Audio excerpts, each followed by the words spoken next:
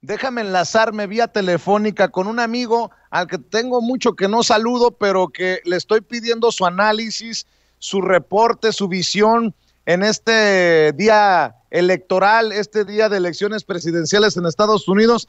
El mejor periodista de investigación en Chicago, Dan Michalopoulos, reportero de investigación de la WBZ, la WBEZ es la radio pública allá en Chicago. Mi querido Dan, te mando un abrazo a la distancia. ¿Cómo te va? Un abrazo fuerte desde Chicago. Eh, eh, nos falta mucho tener un eh, Vicente Serrano hablando sin pelos en la lengua aquí en los medios en español, aquí en Chicago, con todo respeto a los demás colegas. Te agradezco siempre por tu generosidad, Dan. ¿Cómo ves este proceso que hoy podría tener eh, situaciones difíciles eh, con un Donald Trump que dice que no aceptaría los resultados. ¿Cómo ves eh, el proceso en estas elecciones presidenciales? Lo veo posiblemente muy complicado porque, ah, bueno, en, cuanto a todos los votantes de todos los estados ah, de la Unión Americana, hay una diferencia grande, 10 puntos según la última encuesta del Wall Street Journal, del periódico Wall Street Journal y de la cadena NBC. 10 puntos eh, de ventaja le dan a Joe Biden. Sin embargo, esa diferencia es muy estrecha en unos estados claves. Y bajo el sistema que tenemos aquí en Estados Unidos, un tema que, que yo sepa muy pocos eh, en otros países pueden entender cómo es que, que así un país como Estados Unidos con tanta, tantos años, tantos siglos ¿no? de democracia puede eh, ah, ser así, pero yo creo que es muy posible que por tercera vez en los últimos 20 años el, que, el candidato que más votos recibe va a ser el perdedor ah, en, en cuanto al colegio electoral, porque la diferencia entre los dos candidatos en uh, unos estados muy claves, como Pennsylvania, por ejemplo, como eh, Wisconsin, hasta Texas, eh, muy peleado. Así que eh, puede ser una diferencia mínima y eso puede causar unos fuertes disturbios dentro del país, especialmente si el presidente no quiere aceptar resultados negativos. En una ciudad como Chicago, con alta concentración hispana, ¿has definido, Dan, qué tan importante sería el voto hispano, el voto migrante? El voto de aquellos que llegaron a Estados Unidos y se hicieron ciudadanos eh, para definir eh, esta, este proceso?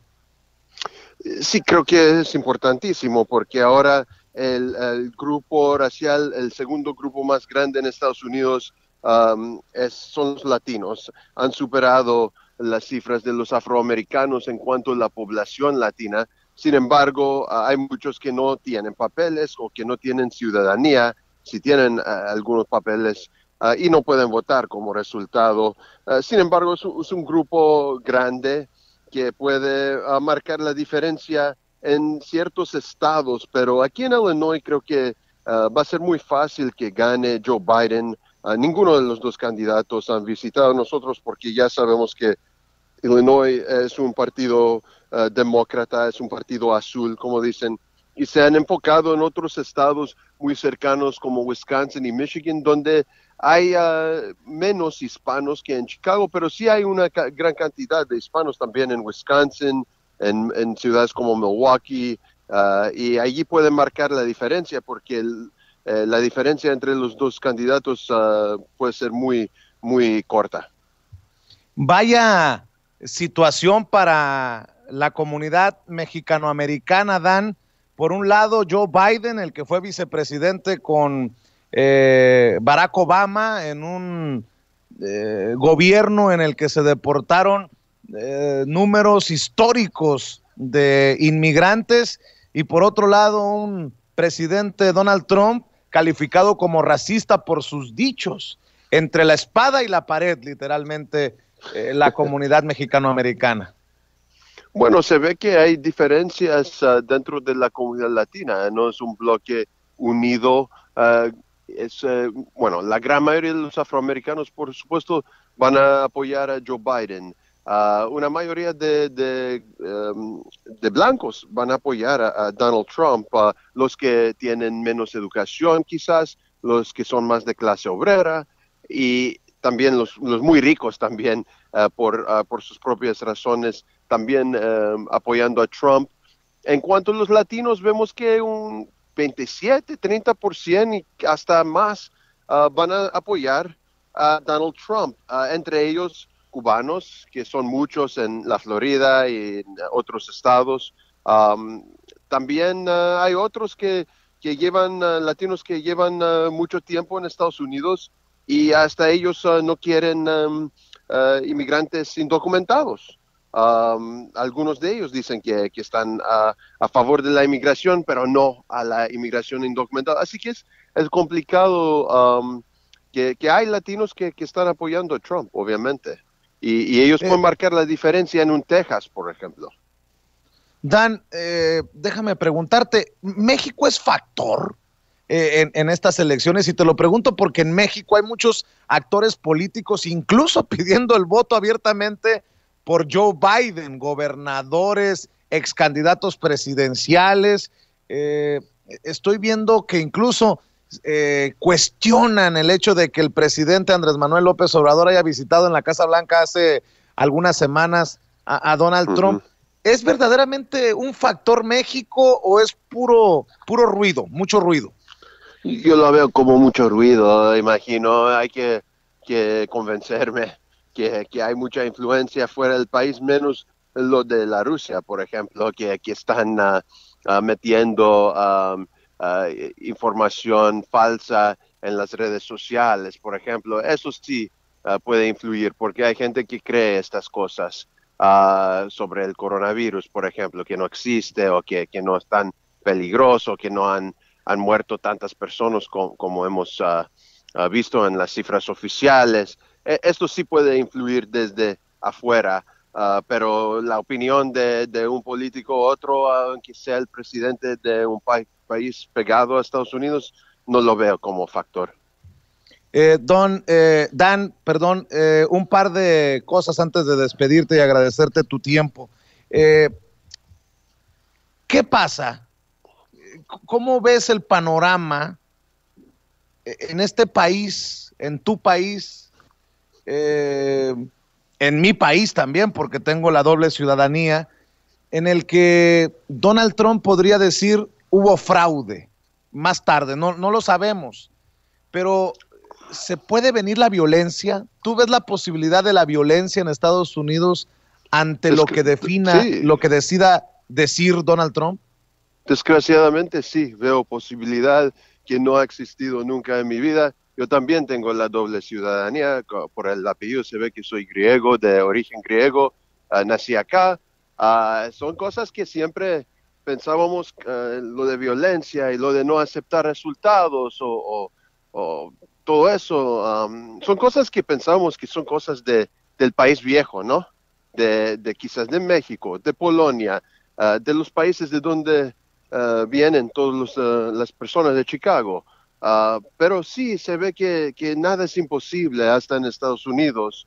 Um, hemos visto, por ejemplo, cinco periodistas matados en su redacción en, um, en Annapolis, Maryland, hace un par de años uh, por un uh, seguidor de, Donald Trump.